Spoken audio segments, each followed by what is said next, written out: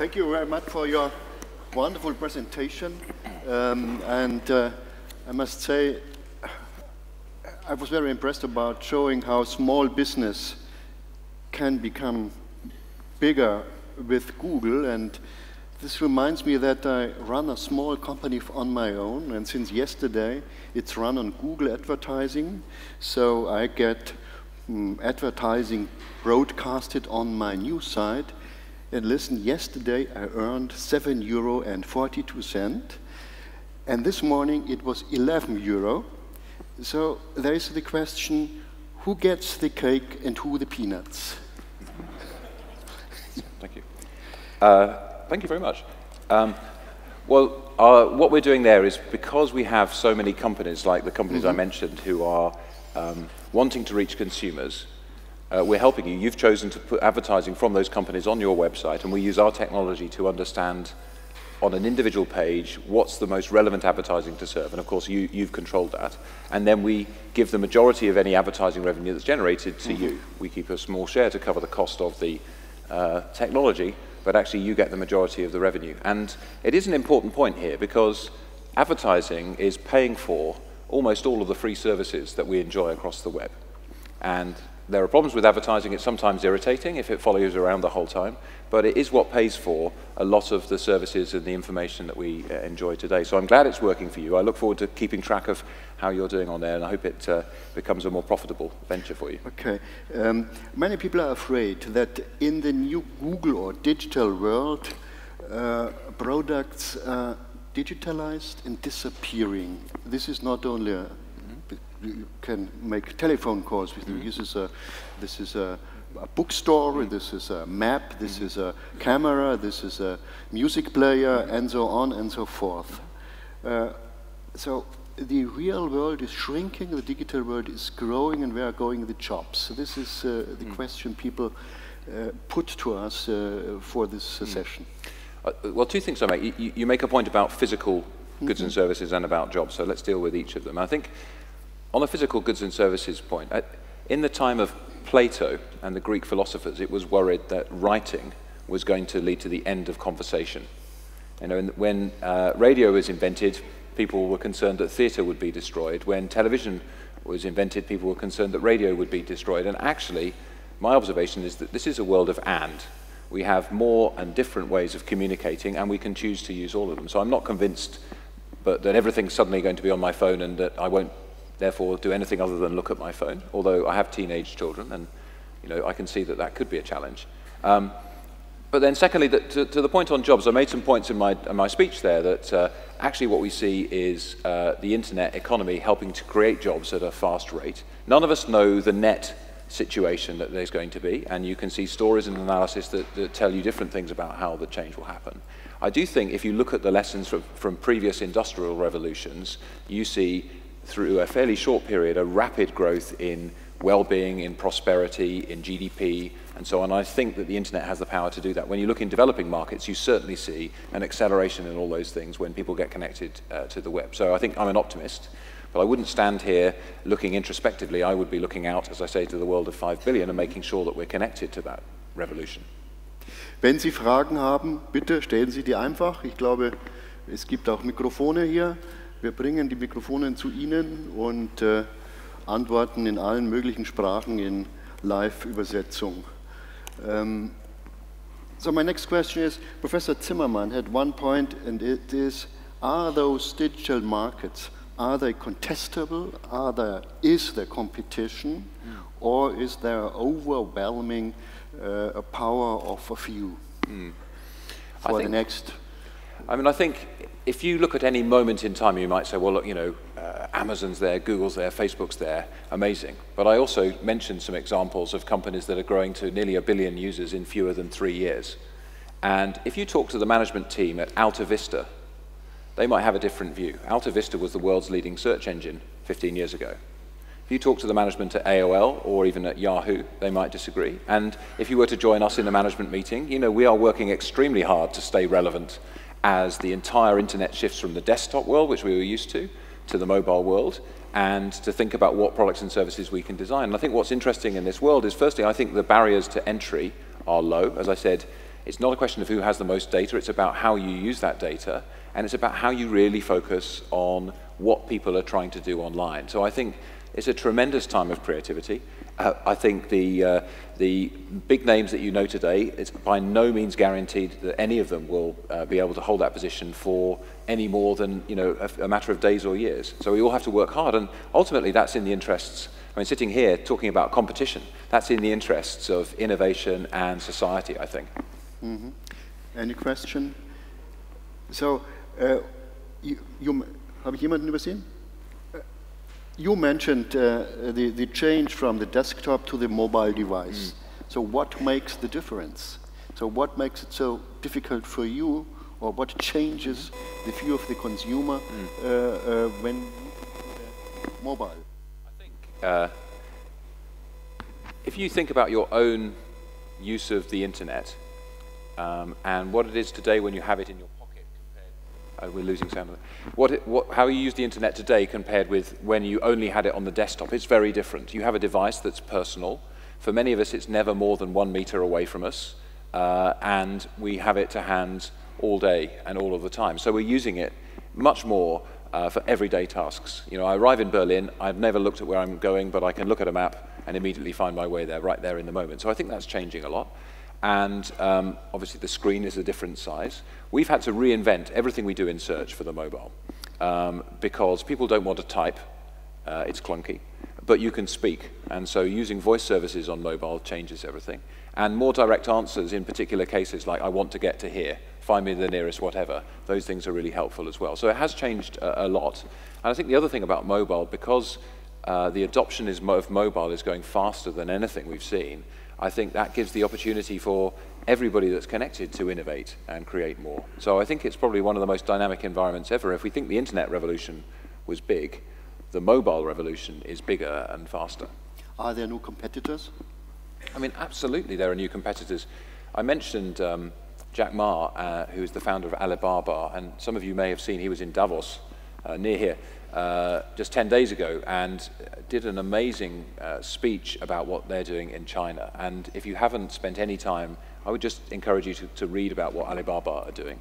And the Chinese have got scale, they've got ambition, they've got ideas, they've got educated people, and uh, whether it's in mobile handsets, whether it's in internet services, they really are picking up the pace. And I think um, if you were to want to scare people in Europe, you'd say, look, the Chinese are coming.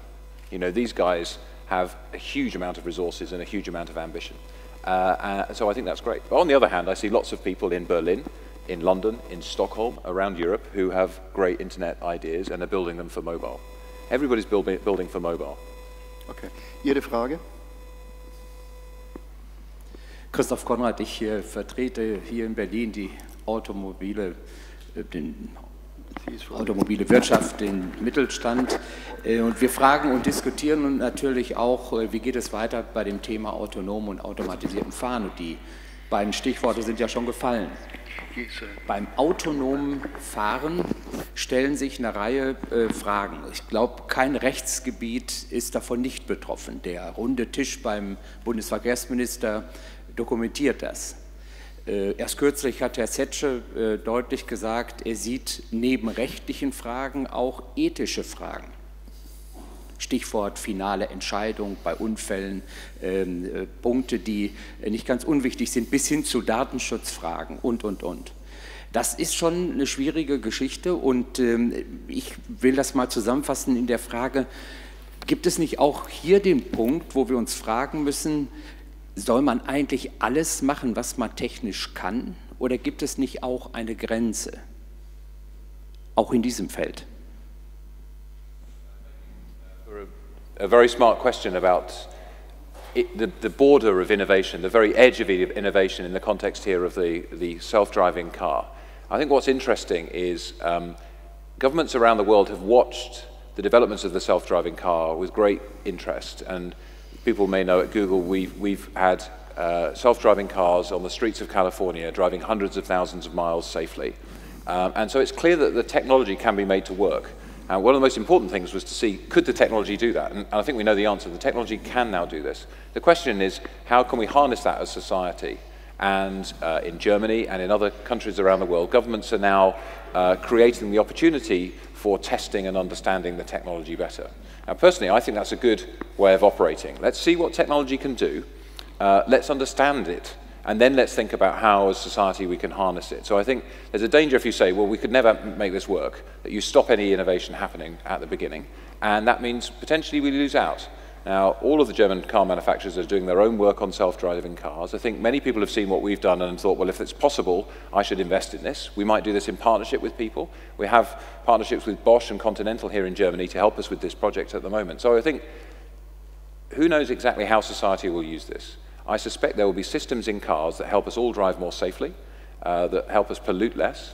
Uh, if you've got a teenage uh, child uh, or children as I have, then having them in a car which could take over from time to time would feel like a safer place to go. So I feel that the broader point I would make is let's look at what innovation can do and let's see experimentation and invention and let's learn from that how we as society want to adopt it rather than say immediately we must stop that. Uh, One more question to this. Uh, who will be in the driver's seat in this car? The computer industry or the car manufacturer? Well, I think uh, ultimately the majority of the car is going to be the manufacturer. Um, and uh, what we've done, if you think uh, what we've done in mobile devices for a second, we, we built Android, which is an operating system for mobile devices. And we are inspired by Tim Berners-Lee, so we believe in, in an open web and open innovation, producing more invention for everybody. And uh, so you can now see many devices powered by Android. It's the most powerful, it's the most popular operating system uh, in the world. Uh, but many of those devices are using a version of Android that have been customized by other people. And I think that's a great philosophy. So there's versions of Android that Amazon control. There are versions of Android that are used by the Chinese. Uh, and they're nothing to do with Google, but people have taken it because it's an open uh, software system and have built on top of it. And I think that's a great thing to do. So I don't know how the cars example will play out. I would say we're in discussions with all the manufacturers about the technology. Uh, we're in partnership with many of them. Uh, and we'll see how it moves. And I think uh, hopefully what will happen is more people will focus on this area to make cars that are safer and greener and more sustainable and can use less highway that therefore reduce the need for future road building too. So I'm an optimist about that, but I don't know exactly how this will play out. Dr. Nasko, Ihre Frage, Nixdorf Stiftung. Thank you. Uh, if you compare uh, the impact of digitization in big industry, I would guess that there's not a big difference between American and European companies. Let's take uh, General Electric as compared to Siemens or General Motors as compared to Volkswagen. The impact of digitization, we are talking on Industry 4.0 and so on, is probably quite the same. Mm. But also, if we talk about the impact of digitization, we always think about US. Mm. Everything comes from US. And then if you analyze that, you found, find out that uh, these are not the big companies. There are the Googles, there are the, the Facebooks, there is Amazon, there's Uber, and so on and so on. Now, are those spin-offs of big companies? No. They are individuals who created those companies. Hmm. And now, are there more clever people in the US than in Europe? Maybe not so much. So what's the reason of that difference? Now, we analyzed that, and, and you mentioned a few of them. Uh, the, the, distributed market, it's not uniform concerning standards and so on. There were some examples like GSM where we were successful in Europe, but others are not. And uh, then we found out that the financing is sort of different and not the first financing. So if you make a startup, you get some money in the market. But after that, if you need big money to make a big company out of that, then we have a problem. The, the private people are not prepared to invest as much. There are much more rich people in the US who are prepared to invest money, take the risk. We don't find them in Europe and not, especially not in Germany. And also, the government is not prepared to really support that, which is only the second, best, uh, the second best solution, I would yeah. guess. But anyhow, yeah. it's not available. So would you join that idea that... Uh, yeah, I mean, I think you make a, a number of extremely good points. Um, I think when you spend time in Silicon Valley, it's almost impossible to walk out of a coffee shop without somebody offering you money to, to fund something. I mean, I'm exaggerating, but um, if you're a failed entrepreneur, people want to give you money, and that's not always the attitude in, in, uh, in Europe. Um, I think that access to finance is part of the issue, but I don't think it's the whole issue. And one of the reasons we brought Google Ventures is because we, we sort of focus on that, that gap between the angel investor and the large-scale finance, which was really poorly served in Europe. But actually, there is a growing uh, set of uh, organizations that want to fund startups here and that see startups uh, here. The other point you make, I think, which is also interesting, is is the traditional large corporation capable of innovating at the speed uh, of the digital economy? And I think that's a very tough challenge because, I mean, I sit on the board of a big retailer in the UK, Sainsbury's. It's a great company, hundreds of thousands of employees. It's successful because it does a million things right every day. And a structure that allows you to do that isn't always the same structure that allows you to innovate. So I think what we'll see is an expansion of, of different forms of companies, much more partnerships. Uh, you know, our relationship as Google with many large companies is very multifaceted. You know, we might be supplying Android handsets to them. We might be helping them monetize their website. We might have a partnership around data and security and privacy. We're, you know, there, there are, so we're competing, we're suppliers, we're partners, we're competitors, each is supplying the other. I think those kind of more complicated relationships will be the new norm. But personally in Europe, I think we need a single rule book, we need ambition. We have to encourage people who start a business to think immediately of 500 million consumers, if not 5 billion. And I think that ambition I'm starting to see more and more in Europe, but it's certainly the default in the US. Thank you. Professor Blum, Sie haben gesehen, mächtig ist der, der das Mikrofon hat. Und das ist jetzt hier. Tut mir leid. Ja, guten Tag, mein Name ist Barbara Elisabeth Schäfer. Ich bin äh, Ehrenpräsidentin eines Wirtschaftsverbandes für Frauen. Und ich habe hier drei Fragen. Und zwar, äh, ob in den Apps keine Backdoors sind, wo irgendwas eingeschleust werden kann, was die Nutzer nicht wollen, ist die erste Frage. Die zweite, das, was die Nutzer und Nutzerinnen stört, ist einfach, dass die Verträge einseitig sind, was wir jetzt seit einer Woche ungefähr wissen, dass wir nicht ändern können, selber ändern können oder ablehnen können, wenn Google irgendwas verändert, was wir nicht wollen. Das ist sehr ärgerlich. Und nehmen Sie bitte die Senioren mit. Viele Senioren, nicht die, die hier sitzen, lehnen, möchte ich mal betonen, äh, aber viele eben der Senioren lehnen also das, äh, die Smartphones, die aktuellen Smartphones ab. Äh, sie behaupten, sie wollen lieber Neandertaler sein, sie wollen keine neuen Smartphones, sie wollen diese ganze neue Internetgeschichte nicht. Und die müssen Sie unbedingt mitnehmen, die müssen Sie ansprechen. Ich bedanke mich. Hm. Hm. Yes, um, so you raised three really good questions. I think uh, apps, um, and in general, when people are visiting the internet using apps or visiting websites, we work really hard to try to protect you against uh, malware, uh, so programs that will come and attack your systems or do uh, things you don't want them to do on your devices. It's a constant battle. Um, we actually reported yesterday, I, th I, think, on the number of uh, advertising uh, propositions that we disabled last uh, year, was in the um, hundreds of millions uh, because we're, we're spotting things where they're trying to install malware. So uh, I think it's never going to be perfect that, that you know, companies like ours can completely protect you, but I think we work extremely hard to try to protect you against those things. And of course, you won't use our services or other people's services if you find that they are subject to those issues. But it's a challenge for the internet, and as I say, we work really hard on it. I mean, I, th I think the second thing on the internet you mentioned, and the, broader point is contracts. So how many people you know, always read a contract before they sign it? Well, all of us do. When you're online, how many people ever read the terms and conditions before they click the accept button? Hardly anybody. And I think this is one of the, the one of the challenges that you know, we have to try to set high standards together of what we expect uh, to happen online. And this is a new area, but clearly very, very long terms and conditions are not uh, sufficient to educate consumers. So what we try to do is, alongside having the necessary legal conditions, we try to make it possible for you to understand our policies through short videos that sort of explain in much more human terms what's going on. And then if you want to read the longer legal, you can. But I, I agree, it's a, it's a challenge, and we're all getting used to these new uh, products and services.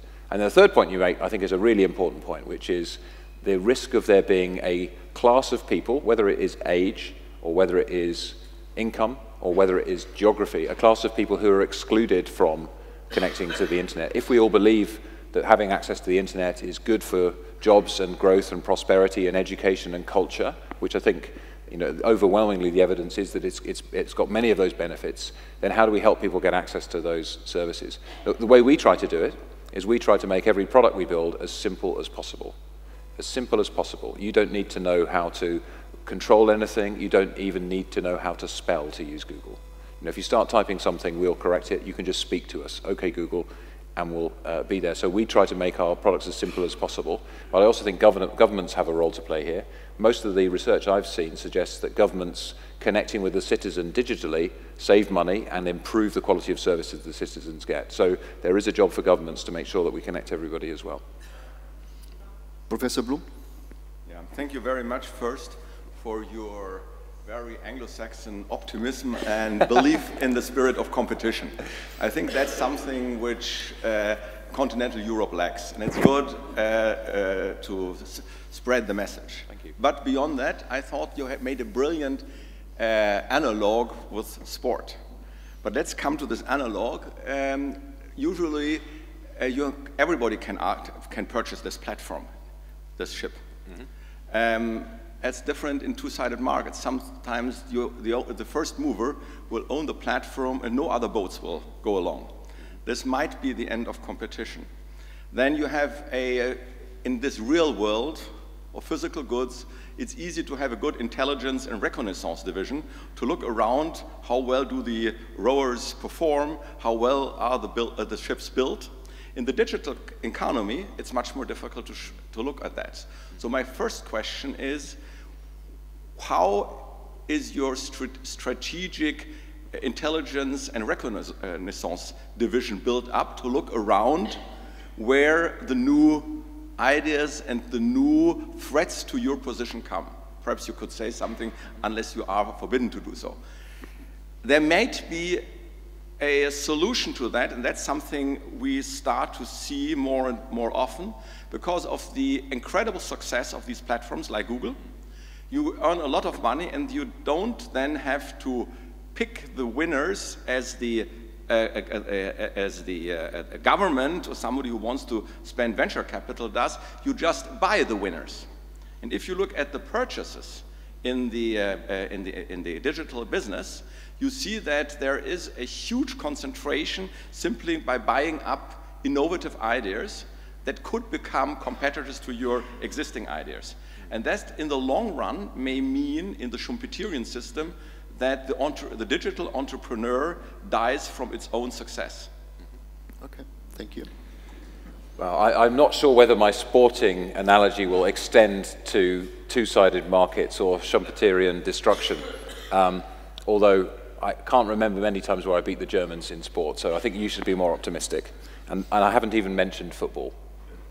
Um, uh, but I think, um, so when I look at Google, you know, is it analogous to say, well, you know, if there's a great, a better boat, then somebody will use, choose to use that boat. Will that apply to Google? And I think, you know, what we do is for the user, the competing services are a click away. And, and the history of search has certainly been the case that different players have been prominent at different times. And uh, actually scale is not um, a key factor in success in search. So I think one of the things that's interesting here is, you know, we're, we're um, popular because the service works well.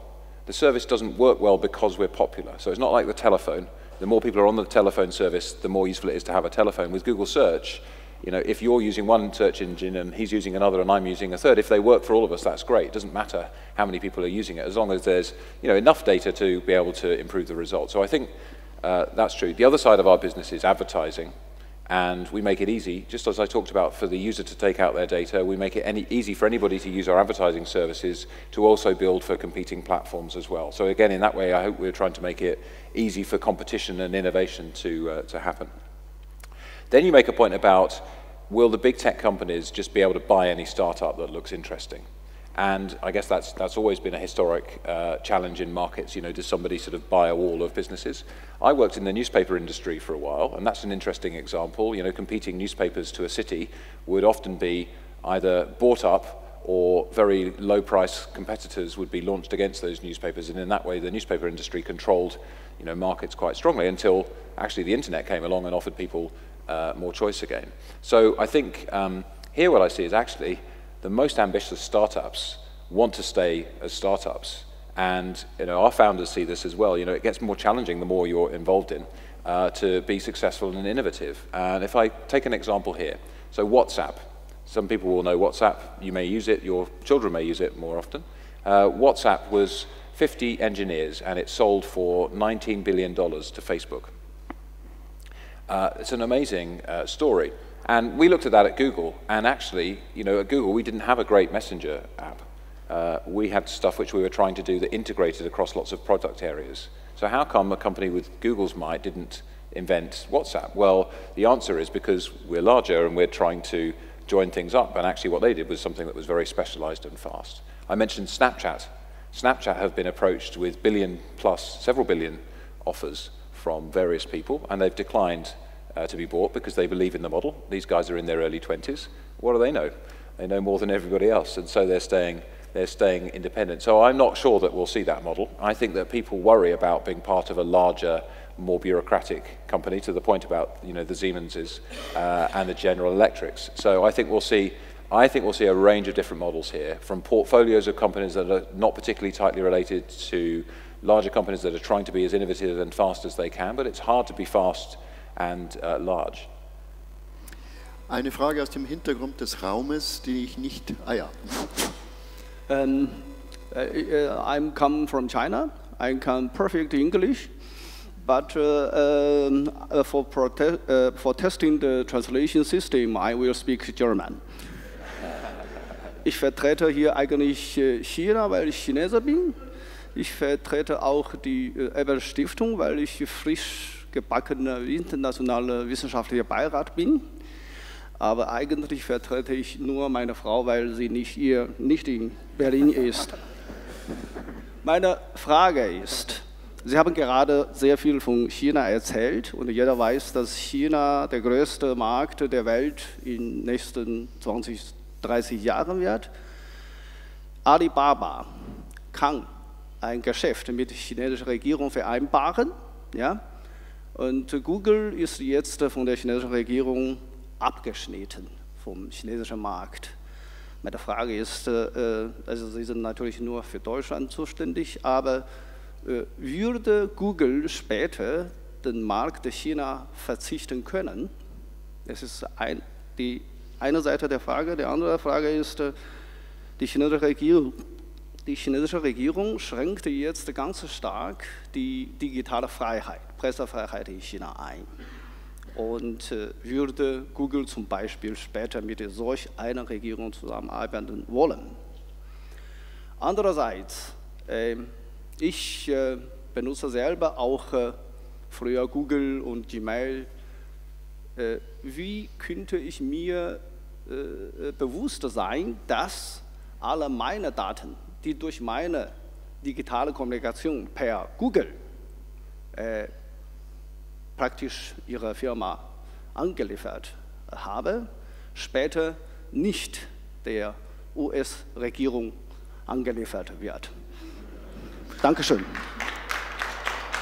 Darf ich, darf ich wegen der fortgeschrittenen Zeit noch die letzte Frage gleich dazu nehmen? Oder Herr Grüner, dann kriegen Sie die letzte Frage. Zunächst Sie bitte. Vielen Dank. Mein Name ist Ralf Zeppernick. Wie mein Vorredner möchte ich auch in Deutsch sprechen, weil ich es auch sehr wichtig finde, dass wir weiterhin hochqualifizierte Dolmetscher haben. Denn selbst ein Deutscher, der sehr gut Englisch spricht, ist immer in einer Verhandlung im Nachteil gegenüber einem Native Speaker. Dies gesagt, mein Kompliment an Sie, Mr. Britten, für einen brillanten Vortrag. Ich glaube, Sie haben die Interessen von Google exzellent dargestellt. Das Kompliment war ernst gemeint. Nun zu meiner Frage. Stichwort Wettbewerb, fairer Wettbewerb. Und hier möchte ich hinweisen auf fairen Wettbewerb bei Steuern. Viele der heute genannten Namen, ich erwähne nur noch Amazon, sind dadurch berühmt geworden in letzter Zeit, dass sie wesentlich weniger an Steuern zahlen als deutsche Unternehmen zum Beispiel oder europäische Unternehmen. Deswegen meine Frage, wie hoch ist der Prozentsatz, den Google an Steuern zahlt in Deutschland und in Europa, bezogen auf die Gewinne, die sie hier machen? Sollten diese ebenfalls wesentlich niedriger liegen, welche Überlegungen gibt es bei Google, hier in einen fairen Wettbewerb einzutreten? Vielen Dank. So you have difficult question. Are you afraid of Alibaba? Uh, do you pay taxes and do you not sell the data to the United States government? So, uh, this is a very intelligent audience, may I say. Some very good questions coming from all of you, so thank you. And uh, again, apologies, apologies for my lack of uh, German language skills. Um, uh, so taxes. Um, absolutely, there's a lot of discussion, particularly about uh, successful US tech companies in this field. And um, as a European, I really see, you know, if you're sitting in Germany or if you're sitting in the UK and you see companies with very high revenues coming out of uh, particular markets and you pay tax on your income, you look at a company and say, well, this company should be contributing more in my country. And I mean, it's, it's a great shame to me that, that Google isn't a German company. If we were a German company, we'd pay we'd earn our profits in Germany and we'd pay tax proportionate to the profits in Germany. As it is, we're an American company and therefore we're required by the international tax laws to uh, earn our profits uh, principally in the US. And that's the reason why we pay relatively low, we, we earn relatively low profits here. Of course, we pay taxes at the prevailing rate on corporations' profits in every country uh, that we operate in. And our headquarters in Europe is actually in Dublin. So I mentioned we have 1,100 people in Germany, we have nearly 5,000 people in Dublin, and they serve customers and consumers in every country in Europe. So the taxes we pay here, I'd love it if we paid more as a European. If we were started in Europe, we would have to pay more. We follow the international rules. It would be great if the international rules were less complicated because they'd be more understandable to the person in the street and corporations could focus on you know, doing what they should be doing, which is providing jobs, growth, employment, and a contribution to society in all kinds of ways, including the tax system. Um, well, below the line, the percentage. I, I, mean, I, so the percentage is whatever the percentage tax rate is in Germany or the UK or whichever country we operate in. So we pay the, the prevailing tax rate in every country. The challenge is how big is the profit in every country, which is it has to be big in the US. Um, and that's actually a, a, a by design of the single European market in, in, in Europe. Um, the second question, uh, China. Uh, and thank you to the gentleman who puts us to, to shame by being trilingual uh, here. Um, China is an amazing country, and uh, Google does have operations in China. Uh, we just no longer have a censored search service in China. And um, it's a real shame to us that we weren't able to continue to provide that, but we felt that the original intent, which was even with a censored service, when you search for results, we're saying your government doesn't want to see this result, that we felt, felt that was contributing to openness and contributing positively to people in China. But at some point, we realized that that strategy was not being successful, just looking at how people were using our services and some of the attacks that we were having on our services as well. So now we have an operation in China which helps Chinese companies reach the rest of the world, and we have a simplified Chinese search service that's sent from uh, Hong Kong. Um, I think it's hard to ignore China for everybody and anybody, and therefore, the more engaged in China you are, the more you can understand the world of tomorrow. Uh, but certainly, uh, there are some principles, uh, particularly around freedom of speech and protection of our users' data, that we hold very hard, and therefore, we've made a call which is you know, not brilliant for the near-term business opportunity, but we think is the right call for our values and for the values of our users. And that relates to your second point around the protection of your data. Um, and the Snowden revelations, I think, um, you know, here in Germany and in, in uh, London, where I live, and across Europe, were met with uh, astonishment by many of us. And uh, since those revelations, we moved very fast to encrypt all of our services and all of the cables between data centers and so on to try to really ensure that we're protected. There's no backdoor. Um, we we uh, have official processes where governments will come to us and say, we need to access the data of this person's Gmail account. And if there's a court process that's been gone through that uh, shows that you know, the, the government is requiring that access as part of the criminal process, of course, we'll comply with that, but we absolutely will not give wholesale access to governments uh, who, who want to be able to access that data in that way. I think that's an important uh, matter of trust for users in the services that we and other people provide. And we think that governments with appropriate oversight should be able to manage uh, in this new area just as they've managed in other areas of data and uh, information security. But I know we feel it particularly acutely uh, here in Europe uh, when we saw those revelations. Um, I think those were the three questions. Okay, last question, Mr. Grüner. Äh, mein Name ist Martin Grüner. Äh, wir haben heute hier nachdrücklich gehört, dass Bildung die Voraussetzung für eine Bewältigung der digitalen Revolution tatsächlich sei. Meine Frage ist, welche Art von Bildung eigentlich gefordert ist. Und die Frage auch an Google, welche Art von Bildung halten Sie für wichtig? Denn die, die formalen Voraussetzungen, etwa ein Abitur oder ein Hochschulabschluss, be bewirkt ja nicht, dass etwa die riesige Arbeitslosigkeit unter jungen Menschen behoben wird. In Europa, jeden Tag lesen wir in der Zeitung, welches Riesenproblem da besteht.